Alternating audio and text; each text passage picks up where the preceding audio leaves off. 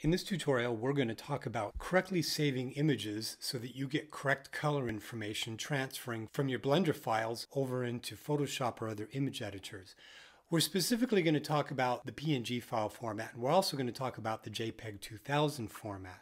So imagine this. You've worked really hard to create a scene, and you've done some final renderings. You've got the colors exactly the way that you want. So we just come over and we save our files in the file format that we want. And you open them up in Photoshop and you notice that something's wonky with your colors. And you're like, what the heck is going on? Why are my colors different from how I see them in Blender versus how I open them in Photoshop? And this all has to do with color management. So let's come over here and take a look at Blender. Blender uses as its default display device an sRGB color profile. It's a very widely used color profile. It's not the most inclusive color profile in terms of the number of colors, but it's generally considered a good general color profile to use.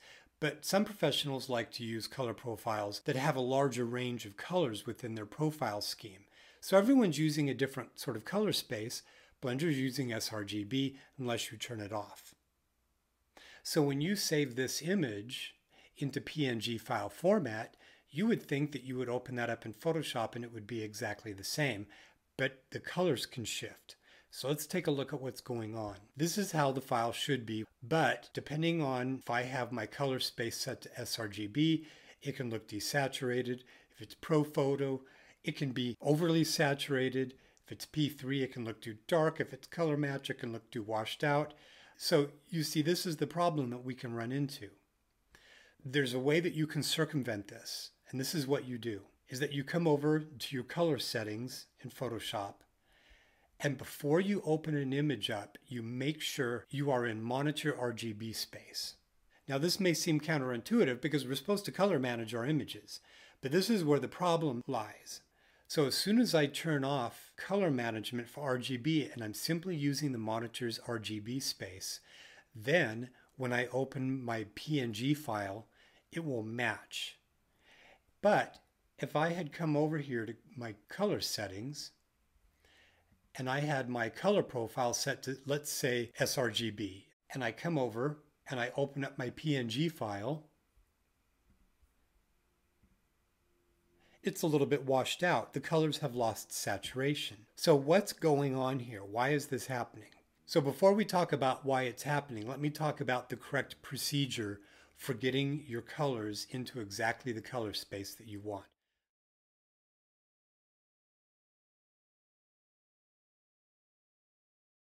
And I'm going to come back over here and I'm going to reset my color settings back to the default monitor RGB space. So I'm going to come back over, going to reselect my PNG file,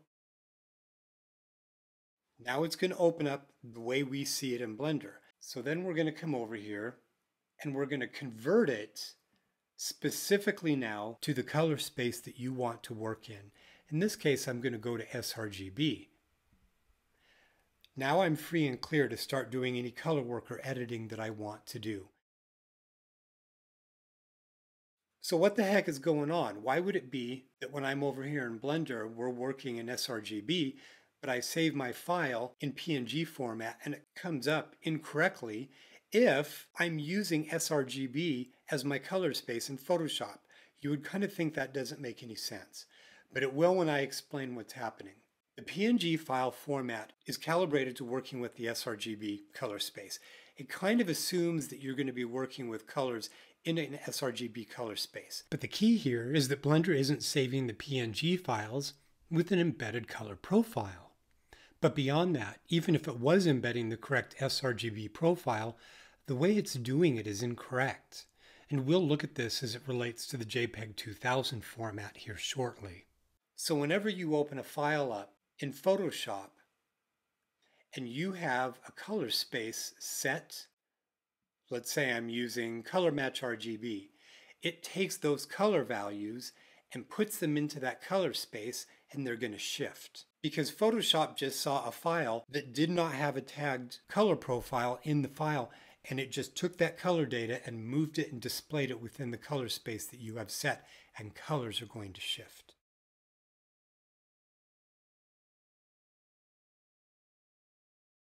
So let's talk about one of the other file formats that I really like to use, JPEG 2000. JPEG 2000 actually has some advantages over PNG file format. JPEG 2000 allows you to have 16-bit color, that's a big deal, like PNG does, but the JPEG 2000 also allows you to embed a color profile. So when you save a rendering from Blender and you specify JPEG 2000, you've got both 12 and 16-bit. Just go ahead and use 16-bit. But the benefit here is that you can specify a lossy or a lossless compression scheme. And that's really important. What I found is that if you leave it at the default of 90%, it's saving you disk space. The file compression scheme is really, really good, and you're going to lose next to nothing, but you get smaller files. But the benefit is that it also saves an sRGB color space profile into the JPEG 2000. But there's a catch. Let's talk about that. In order to understand what's going on and how you're going to work with it in Photoshop, to understand where we are with color settings, I'm going to come down to color settings right here and make sure that we are in our monitor RGB display space. So that means when I open up my untagged PNG file, Ironically, it's going to have the correct color when we don't try and shoehorn it through a color management system. But if you come over now and you come down to our color settings and you assign it a profile and you simply say, I want to assign an sRGB profile because that's what I'm going to be working in. Watch what happens as it shifts the colors. It's assigning the profile and it's just moving the numbers into the profile space and it will shift them as opposed to converting them. So that is why we suddenly lost some saturation with our PNG file. So that's some groundwork for understanding what we're about to see with. So I'm going to come over to the JPEG 2000 file and we're going to note that it's a much smaller file size. It's 2.2 megabytes versus 19.2 megabytes, which is one of the reasons I like to use it. But when I open it up, I'm going to be presented with this dialog box here that says, hey, do you want to use the embedded profile? Do you want to convert to the working space? Or do you just want to discard that embedded profile? So let's see what happens if I simply use the embedded profile because we're thinking, hey, that's what Blender put in. That's what it's rendered. We've got the color space data. We should be good to go. And you open it up and it's got the washed out look. It doesn't have the vibrancy of the colors that we had over in Blender. They're brighter, they're more saturated, they're what I want over here in Blender till I come back over here and they're not. So what the heck is going on? Well, it turns out what Blender is doing I think is incorrect. Blender is rendering the image. When you save it in JPEG 2000 format, Blender says, yay, we can actually save a color profile with this file format. So it tags the JPEG 2000 file with the sRGB profile and it's simply tagging it. It's not converting it and then it's saving it. And when we open up that JPEG 2000 file in, in Photoshop and we use it, it gives us the washed out look. And so what you want to do when you open up a JPEG 2000 file from Blender is you want to open it up and you want to discard the color profile it'll have the correct colors. And then you would do the same thing as PNG. You would convert it over to, in this case, sRGB, which is what we're using as an example. And there you've got the correct colors. I know this is confusing, but this is really critical if you have gotten everything tuned perfectly to the way you want in Blender color-wise.